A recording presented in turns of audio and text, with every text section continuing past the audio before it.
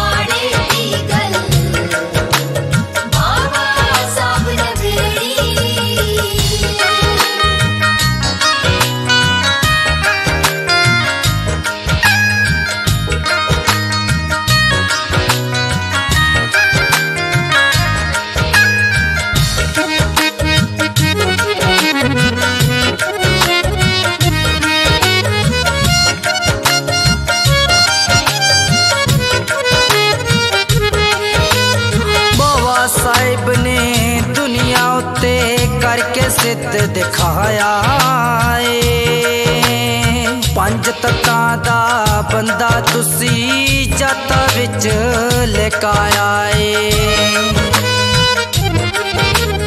ਬਾਬਾ ਸਾਹਿਬ ਨੇ ਦੁਨੀਆ ਉੱਤੇ ਕਰਕੇ ਸਿੱਧ ਦਿਖਾਇਆ ਏ। ਬੰਦਾ ਤੁਸੀਂ ਜਾਤਾਂ ਵਿੱਚ ਲਿਕਾਇਆ ਏ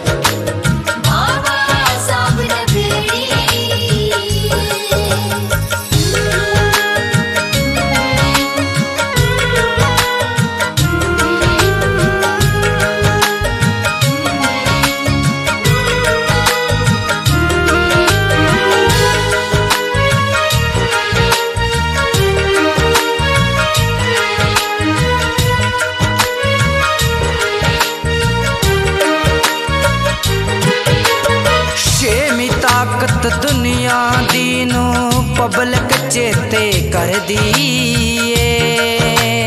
ਵਾਲਮੀਕ ਜਾਂ ਰਵਿਦਾਸੀਏ, ਕਹਿ ਕੇ ਨਫ਼ਰਤ ਕਰਦੀ ਏ।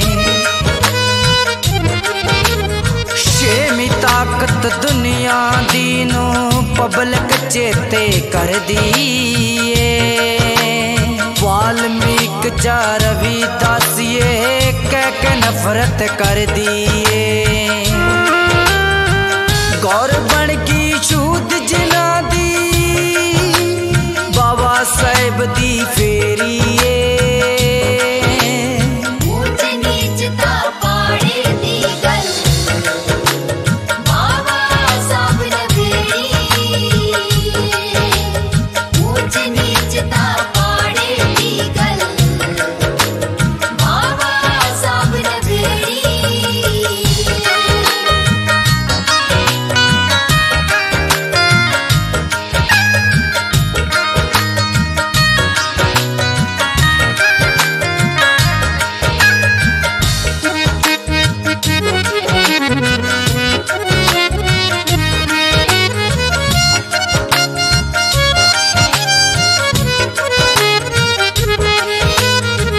ਰਤਨ ਪਾਰਤੀ, ਜੋ ਦੇ ਦੀ ਗੱਲ ਹਰ ਧੜਕਣ ਵਿੱਚ ਰਹਿੰਦੀ ਏ।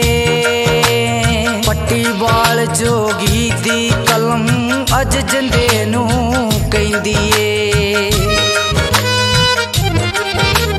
ਰਤਨ ਪਾਰਤੀ ਜੋਦੇ ਦੀ ਗੱਲ ਹਰ ਧੜਕਣ ਵਿੱਚ ਰਹਿੰਦੀ ਏ।